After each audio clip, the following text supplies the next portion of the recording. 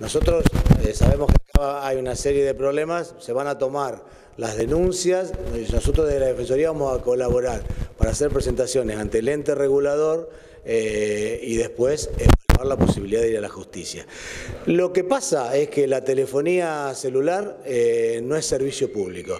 Entonces, las empresas de telefonía celular casi hacen lo que quieren, a pesar de que eh, existe la ley de defensa del consumidor, a pesar de que existe regulación muy vieja, pero regulación al fin, eh, las empresas terminan haciendo lo que quieren. Desde hace mucho tiempo hacen lo que quieren. El tema es que los declaremos servicio público y el tema es que los consumidores no se queden con la queja, eh, sino que, hagan el reclamo. Digo, la diferencia. La queja es, me quejo llamando a la radio, me quejo en la del banco, me quejo en la sobremesa tomando café en el bar.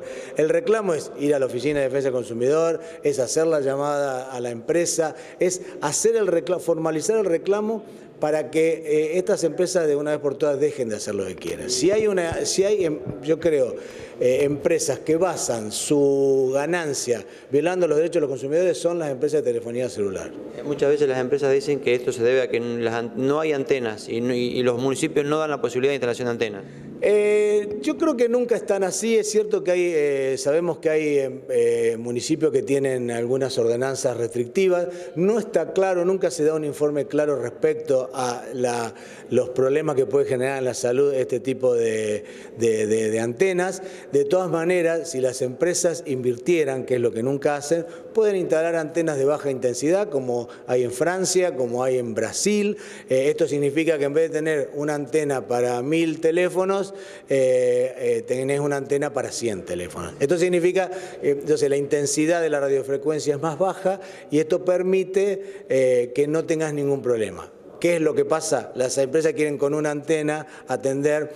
Para que vos tengas una idea, en Santiago de Chile hay una antena cada 400 teléfonos más o menos. En Sao Paulo creo que es una antena cada 1000. Y acá el cálculo es que hay una antena cada 4 o 5 mil teléfonos. ¿Eso qué es lo que pasa? Que bueno, se colapsa, eh, siguen vendiendo teléfonos, siguen vendiendo líneas y lo que terminamos es sufriendo los usuarios que nunca...